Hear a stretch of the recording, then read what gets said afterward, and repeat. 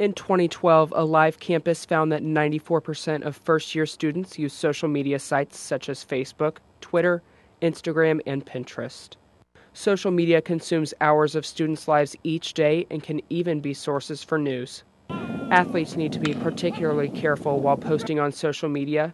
Assistant Athletic Director Jackie Paquette speaks with athletes prior to each season about being careful on social media. The main thing that we tell our student athletes is to not put something out on Twitter or on Facebook, anything like that, that you wouldn't be afraid of your mom reading, basically.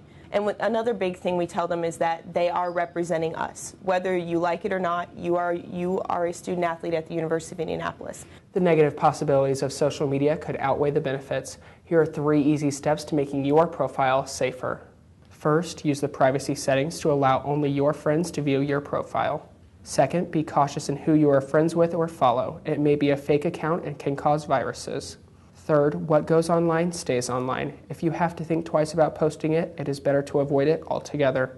Ithaca College professor Anthony Adornato teaches a course on social media and how to use it effectively. For college students, especially those going into the job market, social media, it's your resume nowadays. I mean, the first thing someone does when your name comes across their desk, a potential employer, is they're going to Google your name.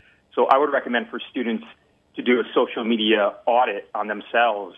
Social media has its dangers, but it can be done proactively. Trevor Cox, UIndy TV.